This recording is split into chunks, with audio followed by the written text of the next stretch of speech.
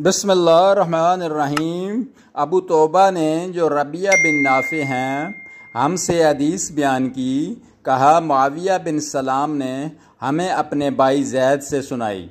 कहा, उन्होंने अबू सलाम से सुना कहा मुझसे, अबू इस्मा रहीमी ने बयान किया कि नबी अकरम सल्लल्लाहु अलैहि वसल्लम के आज़ाद करदा ग़ुलाम सोबान रज़ी अल्लाह ताला ने, उन्होंने ये हदीस सुनाई। कहा, मैं रसूल अल्लाह सल्लल्लाहु अलैहि वसल्लम के पास खड़ा था कि एक यहूदी आलम आपके पास आया और कहा, ए मोहम्मद, आप पर सलाम हो।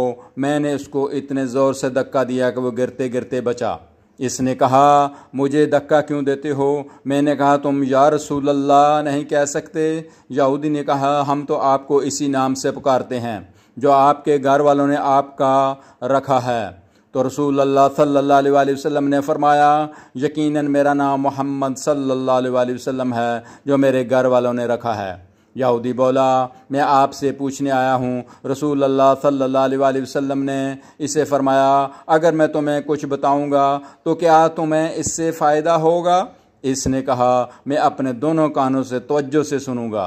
तो रसूल अल्लाह अलैहि वसल्लम ने एक छड़ी जो आपके पास थी, ज़मीन पर आहिस्ता आहिस्ता मारी और फरमाया, पूछो। यहूदी ने कहा, जिस दिन ज़मीन दूसरी ज़मीन से बदलेगी, आसमान भी बदलेगा तो लोग कहाँ होंगे? रसूल अल्लाह सल्लल्लाहु अलैहि वसल्लम फरमाया, वो पुलसरात से ज़रा पहले अंधेरे में होंगे। इनसे पूछा, सबसे पहले कौन लोग गुजरेंगे? आपने फरमाया, फ़ुकारा महाजरीन। यहूदी ने पूछा, जब वो जन्नत में दाखिल होंगे तो इनको क्या पेश किया जाएगा? तो आपने फरमाया, मछली के जिगर का जायद हिस्सा।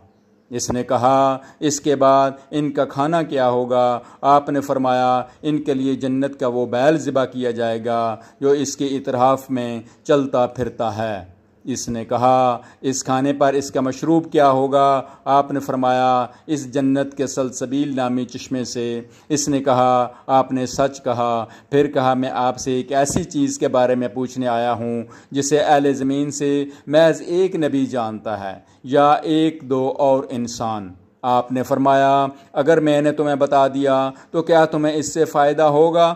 इसने कहा, मैं कान लगा कर सुनूँगा। इसने कहा, मैं आपसे औलाद के बारे में पूछने आया हूँ। आपने फरमाया, मर्द का पानी सफ़ेद होता है औरत का पानी जर्द जब दोनों मिलते हैं और मर्द का मादा मनविया, औरत की मनी पे गालिब आ जाता है तो अल्लाह के हुक्म से दोनों के यहाँ बेटा पैदा होता है।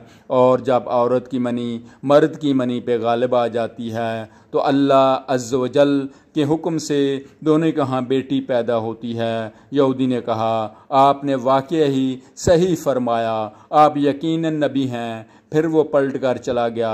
रसूल अल्लाह अलैहि वसल्लम ने फरमाया, इसने मुझसे जिस चीज़ के बारे में सवाल किया, इस वक्त तक मुझे इसमें से किसी चीज़ का कुछ इलम ना था हती कि अल्लाह ताला ने मुझे इसका इलम अता कर दिया। सही मुस्लिम अदीस number seven one six. Channel को सब्सक्राइब कर दिया करें ताकि आप तक नबी करीम सल्लल्लाहु अलैहि वसल्लम की अच्छी अच्छी हदीसें बर वक़्त पहुँचाई जा सकें।